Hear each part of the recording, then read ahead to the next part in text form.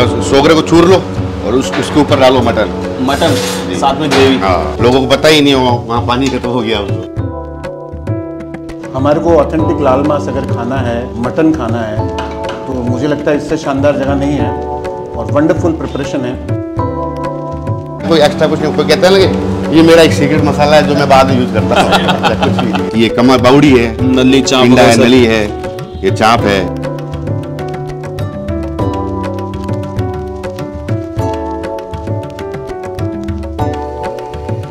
आप देखोगे पूरा, लेकिन आप बनाने की कोशिश करोगे, आपसे नहीं बने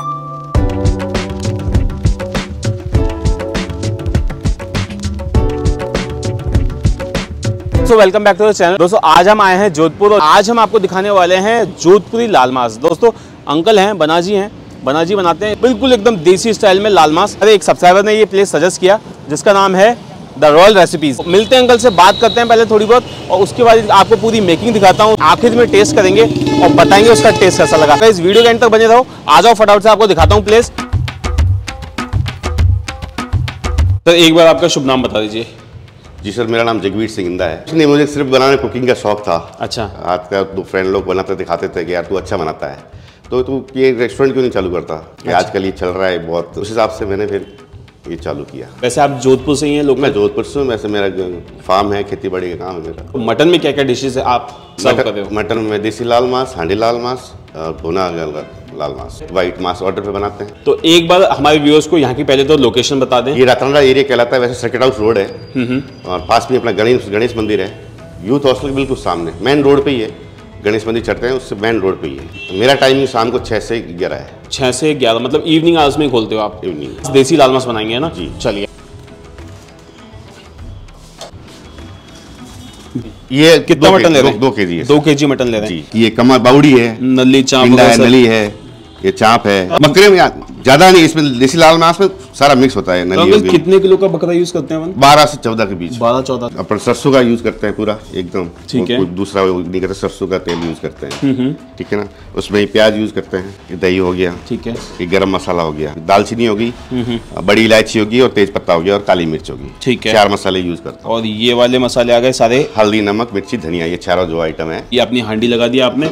और भैया हांडी आपको पता है बहुत यूज़ होती है तो ऑब्वियसली थोड़ी सी तो काली होगी बहुत बढ़िया आज हर जगह पे ग्रेवी बेस्ड फ़ूड और ये तो बॉइल फ़ूड तो हर जगह मिल रहा है। मेरा अगर आप किचन भी देखोगे आपको कुछ नहीं मिलेगा यहाँ पे। हाँ जी, मसाले के अलावा आपको कुछ नहीं मिलेगा। कोई भी एक्स्ट्रा ये फलाना टीम का ये वो कुछ नहीं। सारी डिशेज मैं खुद बनाता हूँ। तेल पूरा ही मतलब हाँ पूरा एकदम पूरा पका के प्रॉपर अगर पूरा नहीं पकेगा तब तक वो टेस्ट वो चेंज हो जाएगा फिर। हाँ हर चीज़ का है अगर आप. मैन तो इसमें मटन का होता है मैं आपको बताऊँ तो हकीकत में तो ये हाथ का और नज़र का है मसाले वही सब हर जगह मसाले सब यूज़ करते Same हैं। है। एक्यूरेट नज़र का कि हाँ अब ठीक है। हाँ जी। कोई भी चीज़ होती है जैसे बनती है तो आदमी कारीगर को भी पता होता है कि ये चीज़ अपन करे ना कोई सीखने वाला वो नहीं कर सकता। सही बात है। अब जैसे आप आप देखोगे पूरा लेकिन आप बनाने की कोशिश करोगे आपसे नहीं नहीं बनेगा नहीं बनता सर। कोई कहता है ना ये मेरा एक सीक्रेट मसाला है जो मैं बाद में यूज़ करता हूँ। कुछ भी नहीं है। अब अपन डालेंगे गरम मसाला। और तुरंत डालिए प्याज हाथों हाथ।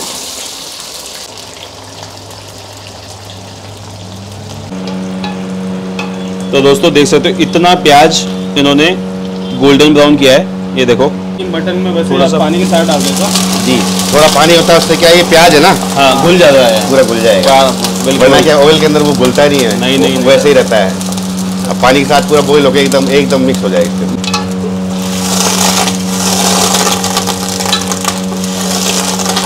ये जाएगी इसमें हल्दी। ये गया नमक ये नमक नमक कौन सा है सादा है कि पहाड़ी सादा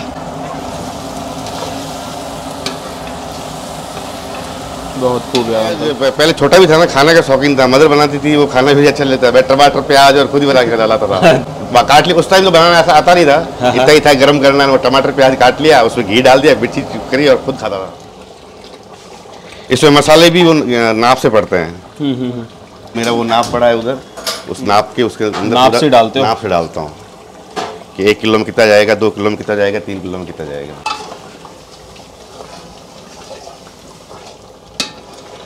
तो सर आपकी फैमिलीज़ वगैरह भी इंजॉय करते होगी आपके हाथ का मटन तो? बच्चे खाते हैं। अच्छा। वो उनको बहुत पसंद उनको ज़्यादा वाइट ज़्यादा पसंद है। व्हाइट ज़्यादा पसंद है। जी। तो दोस्तों आप नीचे कमेंट करना। अगर आप इनकी व्हाइट मटन की रेसिपी देखना चाहते हो कमेंट कर दो फटाफट से। हम आपके लिए एक शूट करेंगे। तो अंकल हम जैसे जयपुर में रहते हैं तो जयपुर में हमको कई रेस्टोरेंट वाले बोलते हैं जी। कि यार हम जोधपुर से आई हुई मठानिया मिर्ची यूज़ कर रहे हैं ये कर रहे हैं वो कर रहे हैं। सर उसका कुछ खेल है क्या यहाँ पे? नहीं ऐसा कुछ नहीं। मथाने है भी नहीं मिर्ची भी नहीं है अभी इतनी। लोगों को पता ही नहीं वहाँ वहाँ पानी खत्म हो गया अब तो। हाँ, वो गाँव ही सूख गया बताया? गाँव ही सूख गया वहाँ। तो औरतें सब्ज़ी बनाती है वो एक रेगुलर सब्ज़ी बनाएँगे तो आपको अच्छी नहीं लगेगी। क्यों? ठीक है मिर्च वो तेल डाला सब्ज़ी डाली उसमें मिर्च धनिया डाला ढक्कन लगाया लहसुन डाला रख दिया। हाँ, और वही उसको टाइम देके दस पंद्रह मिनट बीस मिनट टाइम देके सब्ज़ी बनाएँगे तो वो सब्ज़ी अलग बनेगी। सब टाइम का वो- वो है। टाइम का खेल है। हाँ। आपकी कुछ ऐसी डिशेस भी हैं क्या जिसमें आप थोड़ा वाइन वाइन भी यूज़ करते हो? नहीं। नहीं रेस्टोरेंट में नहीं आपकी खुद की पर्सनल अमाउंट वगैरह पे घर पे। वहाँ पे वो जंगली मांस बनाते हैं ना हाँ। उसमें थोड़ा वो रम यूज़ करते हैं। रम यूज़ करते हैं मज़ा आ जाता है। बहुत बढ़िया तो अरे सुना आपका कीमा कलीजी बड़ा फ़ेमस है। अरे बहुत लोगों को बहुत अच्छा लगता है। बहुत बहुत बढ़िया। देखो अगर हम कल यहाँ पे रुकते हैं तो शायद कल कीमा कलीजी बनवाएँगे आपसे बिल्कुल है हंड्रेड परसेंट आपका लोग कम कर कीमा कली कीमा कली तो बहुत अच्छी डिश है। ये पूरा भून चुका है एकदम। ठीक है। पानी डाल रहे हैं? गर्म पानी ये डल गया गर्म पानी।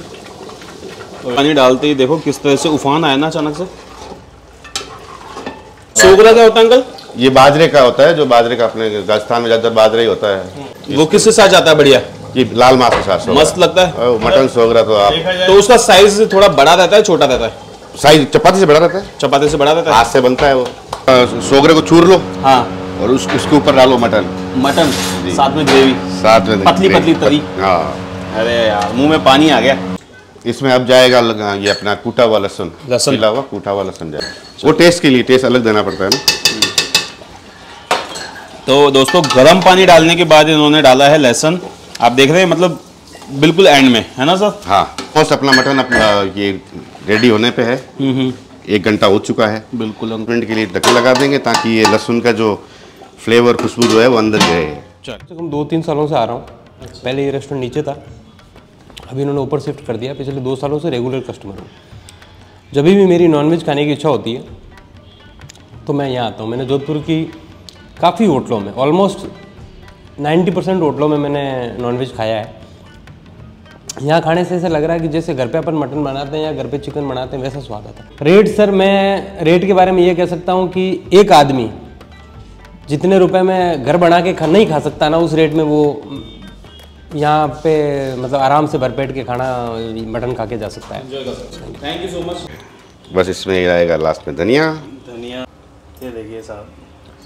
रेडी रेडी चलो अंकल। अब फटाफट से टेस्ट करा दो यार बिल्कुल अब आप एकदम रेडी है।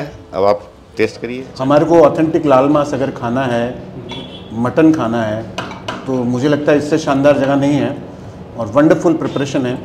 बहुत अच्छा ऑथेंटिक टेस्ट है। इसके अलावा कहीं जाता ही नहीं है प्रेफरेंस ही नहीं है। अच्छा जोधपुर आते हो तो सिर्फ़ यहीं खाते हो? मैं जोधपुर से ही हूँ मेरे फ्रेंड्स हैं मैं इनको यहाँ लेके आया हूँ। बहुत बड़े बड़े होटल्स हैं रेस्टोरेंट्स हैं लेकिन वहाँ आपको ऑथेंटिक टेस्ट मुझे नहीं मिलता और इनको भी लग रहा है कि हाँ बहुत ऑथेंटिक टेस्ट है। सर आपको कैसा लग रहा है? बहुत बढ़िया। अच्छा अच्छा से अंकल आप? मैं हिमाचल से हूँ। हिमाचल से। बहुत बढ़िया। तो चलिए सर एंजॉय कीजिए। Thank you so much time देने के लिए। Thank you sir thank you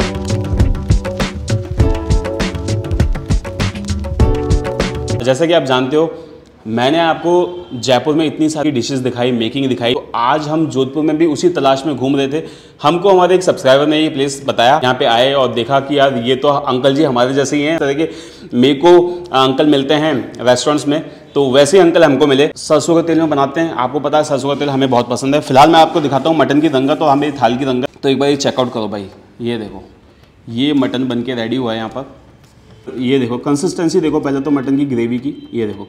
अगर आप पतली ग्रेवी के साथ पसंद करते हो तो अंकल थोड़ी सी पतली ग्रेवी के साथ आपको सर्व करेंगे। अगर आप चाहते हो थिक ग्रेवी के साथ तो थिक ग्रेवी के साथ सर्व करेंगे। वो आपके ऊपर डिपेंड करता है। फ़िलहाल, मेरे को अंकल ने थोड़ी सी हल्की सी थिक ग्रेवी दी है। देखो, साथ में इनका रहता है सोगरा बोलते हैं इसको। ये देख सकते हो आप, ये होता है बाजरे का सोगरा। पीछे से इसका क्रस्ट देखो। ये देखो, है ना? अंकल ने मेरे को बोला था, इसको चूर के खाओ आप। चूर के खाने का अलग जायका आएगा। ये है इनका छाछ का गिलास, जिसमें ऊपर से थोड़ा सा धनिया डाला है, सूखा हुआ। छाछ है, जिसको आज ट्राई करेंगे। ये लेते हैं एक नल्ली का पीस जिसको मैं रखता हूँ इस पर ये देख रहे हो? ग्रेवी की कंसिस्टेंसी देखो आप एक बार। चेकआउट करो ये। और एक लेता हूँ मैं ये पीस रोटी को तोड़ता हूँ। एकदम क्रिस्पी कड़क रोटी है। और ये लेंगे एक नली का पीस और इसको इस तरह से देखें आप। ये देखो ये देखो। मतलब मटन किस कदर गला है चेकआउट करो आप। हाँ? अदले वाली नली है जिसको पकने में सबसे ज़्यादा टाइम लगता है। और साथ में लेते हैं थोड़ा सा जो ग्रेवी है वो।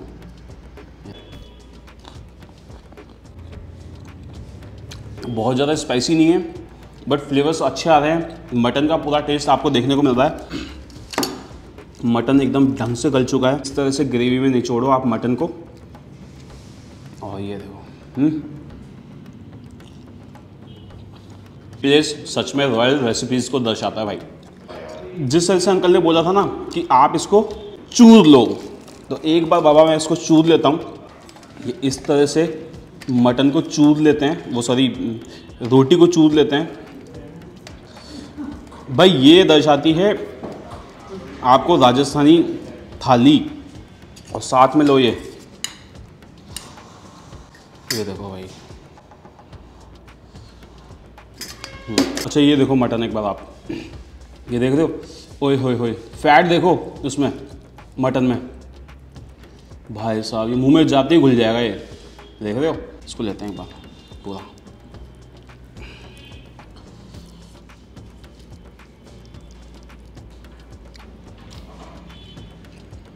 लाल मांस हो बेजड़ की रोटी हो और ये छाछ। अलग मज़ा देगी। एकदम रिफ्रेशिंग तो दोस्तों, ये देखो, ये मैंने फुलके मंगाए। इसको रखता हूँ मैं यहाँ पर। थोड़ी सी जो ग्रेवी है ना उसके ऊपर डालूँगा, क्योंकि क्या पता है क्या है, कई बंदे ऐसे होते हैं जो बाजरे की रोटी पसंद नहीं करते, आटे की पसंद करते हैं ना। तो आटे के साथ एक बार टेस्ट करते हैं, इसको हल्की सी ग्रेवी को डालते हैं इसके ऊपर। और एक लेते हैं नली वाला पीस है ना। ये वाली रोटी का टेक्सचर टेस्ट अलग ही रहता है। आ जाओ भाई। ये देखो। पहले तो मटन देख लो आप। ये देखो, ओए होए होए देख रहे हो? किस कदर मटन गल चुका है। ये देख रहे हो? और ऐसा नहीं कि कुकर में सीटियाँ मारी हों। खुले में मटन पकाया बाबा, खुले में मटन। इसको इस तरह से मीड लेते हैं हल्का सा ये देखो। रोटी के साथ इसका टेस्ट अनबीटेबल है भाई।